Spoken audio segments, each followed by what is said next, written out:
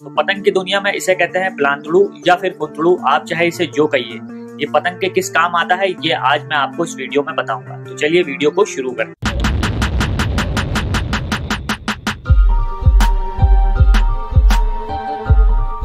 तो फ्रेंड्स, पहले मैं बता दूँ, ये पुलांतड़ू या फुलंतू जो भी आप कह लीजिए आपका जो भी समझ में आए, ये होता किस काम में आता है, ये मैं बता देता हूँ। तो देखिए, पहले इसको बनाने के लिए आपको ये चाहिए कागज़, ये फिरकी का कागज़ है। अब ये ब्रांड है और मैं ब्रांड आपको नहीं दिखा रहा, कौन सी फिरकी, कौन सी चरखी, इसके बारे में नहीं बता रहा। तो ये बनाना है आपको इसी कागज़ से, जो आपके फिरकी के बीच से निकलता है। अगर आप घर में उड़ाते हैं, छत से उड़ाते हैं, फिरकी नहीं खरीदते हैं, थोड़ी रील लाते हैं तो आप इस तरह का साइज़ का कागज़ काट लेंगे। किसी भी पेपर काट लेंगे कॉपी में से, वो आपका काम चल जाएगा। तो ये किस काम आता है, ये मैं आपको पहले बता दूँ, फिर आगे का वीडियो बताता हूँ कि कैसे आपको बनाना है और इसको पतंग में कहाँ पे लगाना है। तो फ्रेंड्स आपकी जो पतंगे बहुत दिन से रखी होती हैं, भारी पतंगे, या फिर ऐसी पतंगे जो आप दुकान से खरीद के लाते हैं और बहुत ज़्यादा लिप्पो होती हैं, जिनकी कापे एकदम मिलने लग जाती हैं। तो आपने देखा होगा, वो पतंग जब लंबे करके जाते हैं तो चक्कर नहीं लेती। आप जब तक मुद्दा बनाते हैं या मुद्दा आप सोचते हैं, बाहर का हो तो हम खींचेंगे या खड़ा खींचेंगे, जब तक गद्दा पड़ जाता, या फिर आप ऊपर से लड़ा रहे होते हैं और जब गद्दा रखते हैं, पता चलता है आपको मुठ्ठा पलटना है और आपका पतंग चक्कर ही नहीं ले रही धीरे धीरे मुठ्ठा पलट रहा जब तक नीचे वाला खींच देता है और आप कट जाते हैं।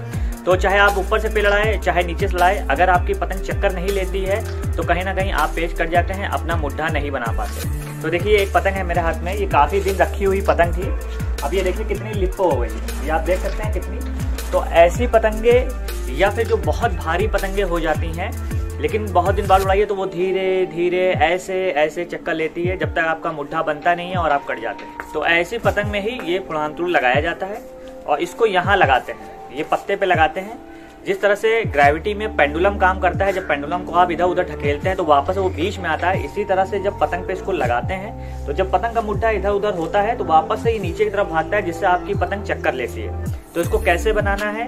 क्या लगेगा इसमें? ये मैं बता दे रहा हूँ। पहले तो मैंने पेपर आपको दिखा दिया। तो पहले तो ये फिरकी वाला जो कागज़ है, ये आपको लगाना है और एक साथ में इसके आपको इस्तेमाल करना है टेप। तो चलिए अब आपको मैं ये बना के दिखाता हूँ इस पेपर से और कैसे लगाना है पतंग पे, ये हम लोग देख फ्रेंड्स ये तो बना बनाया है, इसको किनारे रख देते हैं। अब देखिए आपको कैसे बनाना है। ये पेपर है, इसको आपको बीचों बीच में से ऐसे डबल करना है। पूरा डबल कर लेंगे। डबल करने के बाद फिर इसको यहाँ से डबल करेंगे। ये डबल हो गया। उसके बाद फिर से एक बार इसी साइज़ में डबल करेंगे। इसको बीच में से नहीं मोड़ेंगे, इसी साइज़ में आपको डबल करना है। उसके बाद फिर आप एक बार इसको डबल करेंगे। देखिए, ये बहुत पतला हो जाता है। बस ये इतना पतला होना चाहिए कि इस लकड़ी के ऊपर रखा जा सके। तो अब आपको लगाना कैसे? देखिए पतला हो गया। अब इसको भी कोशिश करिए कि एक बार दबा दीजिए। देखिए, आपने दबा दिया इस तरह से। ताकत से दबा दीजिए इसको थोड़ा। अब दबाने के बाद ये देखिए, बीच में एक कटिंग आ जाती है। इस कटिंग को आपको पत्ते के इस जगह पे रखना है। देखिए, एकदम नीचे रखिएगा। थोड़ा सा, एक दो सूद ऊपर ले सकते हैं। देखिए, इस तरह से रखना है। और ये टेप के इस्तेमाल से आपको इसको रोकना है। तो ये देखने में भी अच्छा लगता है। अगर टेढ़ा मेढ़ा बना देंगे तो अच्छा नहीं लगेगा। अब ये देखिए टेप मैंने काट ली है, इसको ऐसे रखा। और ये देखिए, इस तरह से लगा दिया।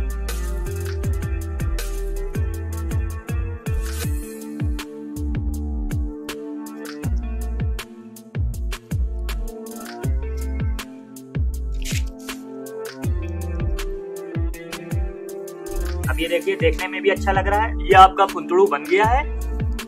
अब इससे क्या होगा, जो भी आपकी हल्की पतंगी होंगी आप देख सकते हैं। काफ़ी लिप पतंग है। तो जब ये पतंग उड़ाएँगे तो इसमें काफ़ी ज़्यादा चक्कर आ जाएँगे और पतंग आपकी बहुत बढ़िया बनेगी और आप मुठ्ठा भी बना सकते हैं। अगर आपको किसी और पतंग में भी चक्कर भी ज़्यादा चाहिए तो भी आप इस तरह से लगा सकते हैं। देखने में भी अच्छा लगता है और पतंग में काफ़ी चक्कर भी आ जाते हैं।